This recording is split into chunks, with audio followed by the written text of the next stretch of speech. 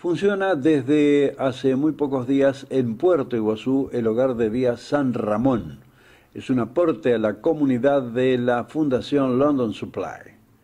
La historia es la que vemos a continuación. ¿Por qué donamos un hogar de día para abuelos de Puerto Iguazú?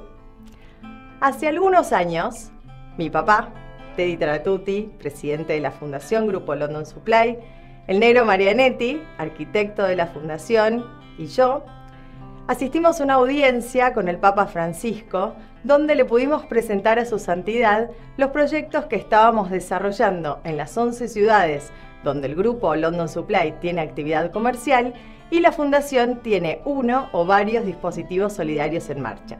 Uno de ellos, próximo a inaugurarse, era el Jardín Materno Infantil Madre Teresa de Calcuta del barrio Primero de Mayo que recibe hoy y desde el momento de su inauguración a más de 300 bebés de entre 45 días y 3 años de edad, el cual es además el tercer eslabón del parque educativo que donó nuestra fundación y que recibe a más de 1.500 niños y adolescentes todos los días.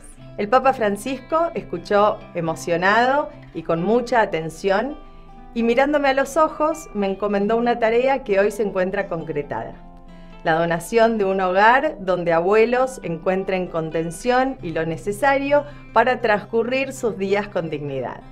En palabras del Papa Francisco, María, el jardín materno infantil es un extremo de la vida. No te olvides del otro extremo, que son los abuelos.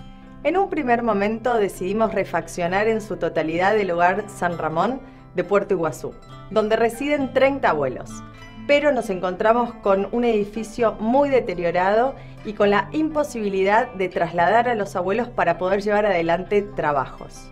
Es por eso que decidimos mejorar lo más que pudimos ese hogar, donando equipamiento, cambiando colchones, sábanas, realizamos trabajos de pintura, refacciones en general y les armamos una huerta modelo de donde los abuelos se abastecen. Pero no nos íbamos a conformar con eso. Así es que decidimos donar un hogar de día en el mismo predio donde funciona el hogar San Ramón, donde más de 120 abuelos van a poder transcurrir sus días.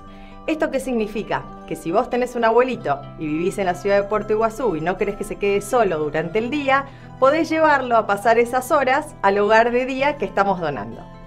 El edificio se encuentra equipado con pantallas de LED, gimnasio, consultorios médicos, cocina, lavadero y un gran lugar de esparcimiento que incluye una terraza con una vista imponente al río Paraná.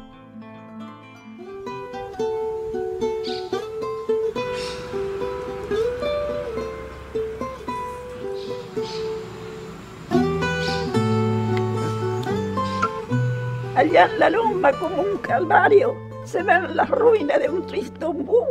Allí murieron mis dichas todas y ahí he perdido mi juventud. Una mañana maldita sea, cuando esa guerra se anunció, mi esposo tierno me dio un abrazo, tomó su lanza triste y partió.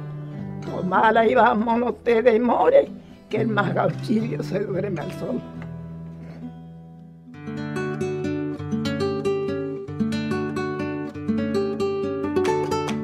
Yo hacía, tenía un jardincito rodante, eh, eso en Buenos Aires, ¿no? Un jardincito rodante que se van rotando de casa en casa eh, cuando son chiquitos, porque antes no teníamos sala de tres. Yo me acuerdo, yo tenía cuatro o cinco años tenía, y yo me acuerdo de esa edad. Me acuerdo porque era muy viva. Yo, entonces yo me, me, jugaba. Mi mamá tenía otros hijos que estaba teniendo y yo me ponía a veces arriba los pies de ella, así, jugaba, porque yo era muy, avivada, era yo. Pinto en acrílico, pero acá mi profesora enseñó una técnica que es con tiza y lápiz y el dedo. Yo estaba en el Paraguay cuando yo trabajaba en la municipalidad. Acá, ¿sabe de qué trabajé?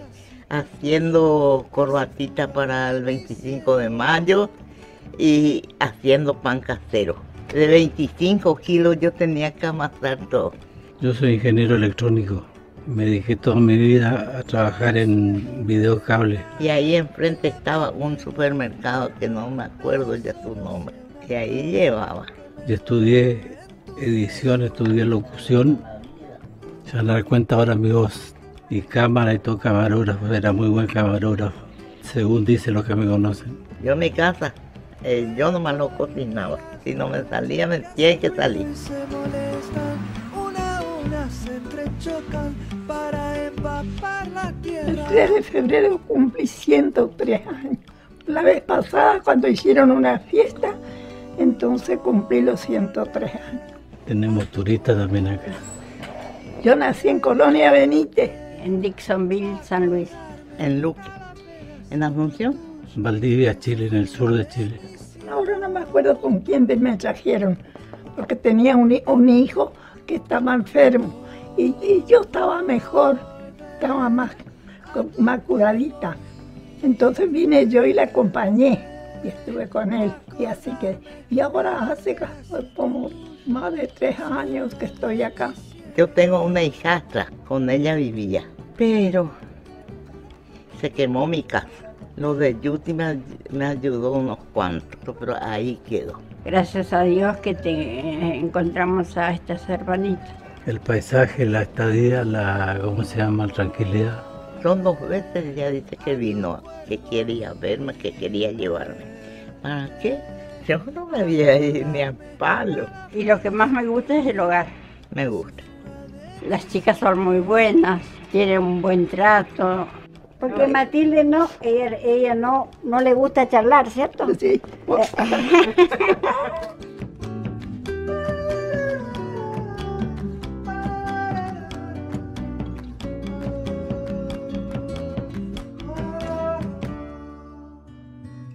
Para nosotros, cuidar a los abuelos es una gran responsabilidad y hacerlos sentir en casa fue uno de los objetivos que tuvimos con el arquitecto que fue diseñando paso a paso este edificio.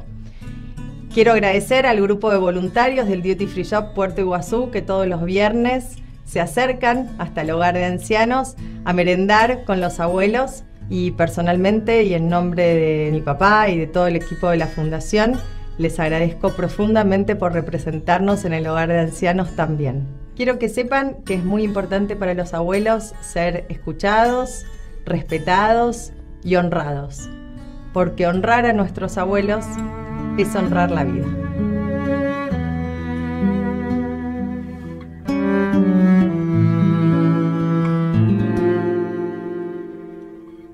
No, permanecer y transcurrir no es perdurar, no es existir,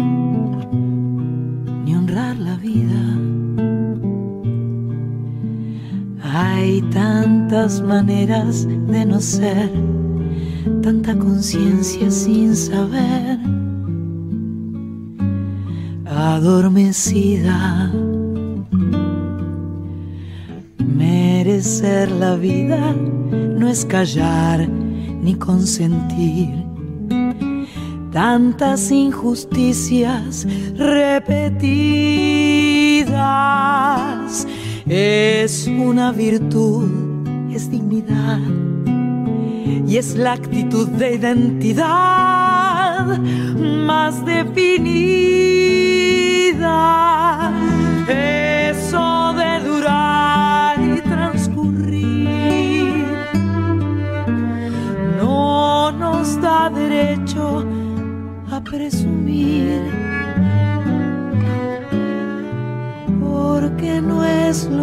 Mismo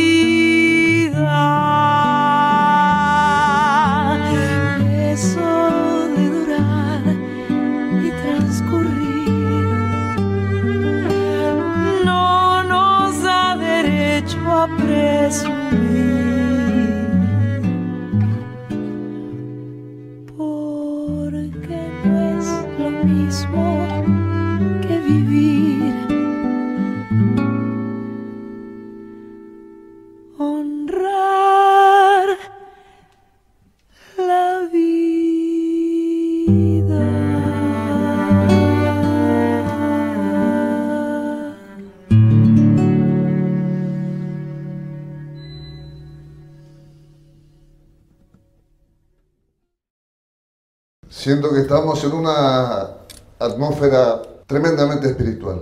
Yo sé que hay un edificio fabuloso, porque fr- francamente es fabuloso, pero hoy vinimos básicamente como gobernante, pero sobre todo como ciudadano de a pie, a decir muchas gracias porque acostumbrados a un mundo tan material, tan táctil, tan mundano, encontrarse en un espacio paradisíaco donde lo importante son los valores que tiene todo lo que se refiere al alma, a Dios, al corazón. Y lo de Teddy es ejemplar, es una referencia, yo se lo dije muchas veces a mi querido amigo Teddy, lo que él hace no es común, es extraordinario. Él, la Fundación London Supply, toda la gente que lo sigue, es un gran equipo, no es solamente él, contribuye a que seamos un tejido social más sólido, a que seamos hasta mejores personas. Creo que esa es la más alta de las políticas, que es tratar de hacer feliz al otro. Y sepan que cuentan con nuestro plenísimo apoyo para que esto se suceda en el tiempo.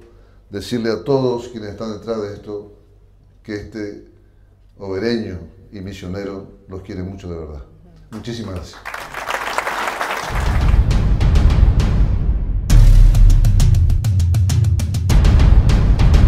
Aquí llegamos, querida gente grande. Tenemos muchísimo material pendiente de emisión. Ya lo verán ustedes en su momento.